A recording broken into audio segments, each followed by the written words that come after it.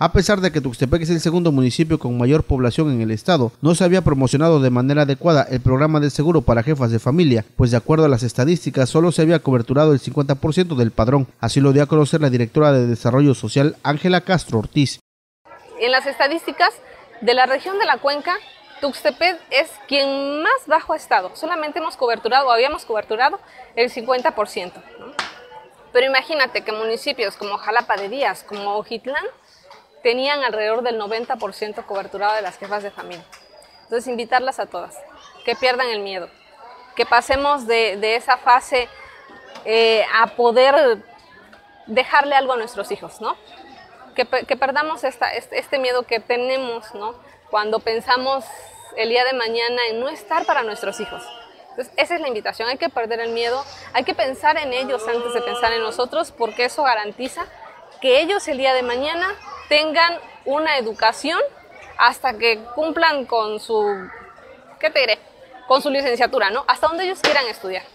Cabe hacer mención que este programa entró en vigor en marzo del 2013 y desde esa fecha no se ha dado la difusión adecuada, a pesar de que por medio de este apoyo se garantiza el estudio de los hijos hasta los 23 años. Esta información la dio en el marco de la entrega de apoyos a tutores de los niños que desafortunadamente perdieron a sus madres, en donde el recurso dado fue de poco más de 70 mil pesos en becas. El programa consiste en, como lo dice la palabra, asegurar a los hijos de las jefas de familia de todo el estado. Entró en disposición en, el 2013, el primero de, de marzo del 2013. A partir de ahí no se le ha dado mucha difusión, por lo tanto nosotros en TUCEPED solamente habíamos cobertura del 50%, hoy ya hemos avanzado, si te das cuenta.